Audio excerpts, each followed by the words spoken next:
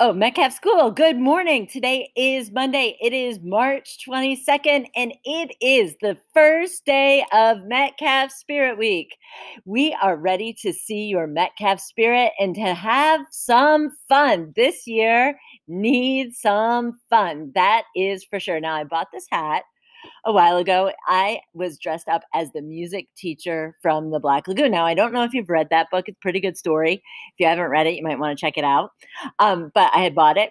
I don't usually get to wear this hat too often because if I walked around like this, like walked into the grocery store with it, people would be like, what is wrong with that lady? They wouldn't know I was trying to be the music teacher from the Black Lagoon. Anyway, I found this cute little video that shows some dogs with their funny little haircuts and funny little hairdos. So check it out. Hi there.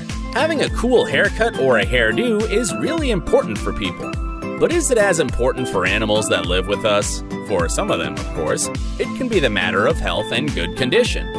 But sometimes the owners invent haircuts that are really strange and extraordinary, and I feel sorry for their poor pets. So get ready to be surprised. Looking like a giraffe? Why not? This nice pup looks great with this spotted giraffe-like haircut.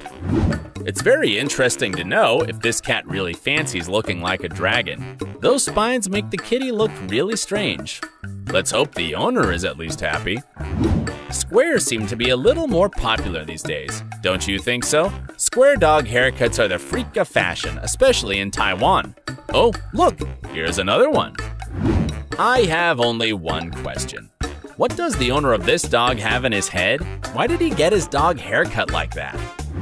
This brown beauty looks like a real teddy bear with this haircut and button-like eyes. I long to stroke it. As for this guy, he resembles a gremlin creature with his big, protruding ears. Their haircut surely deepens this impression.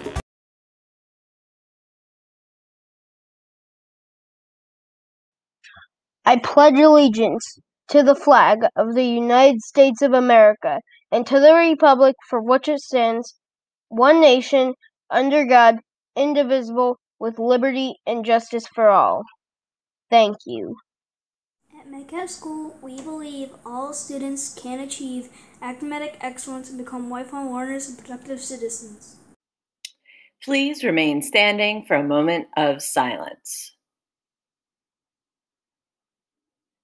Thank you. You may be seated.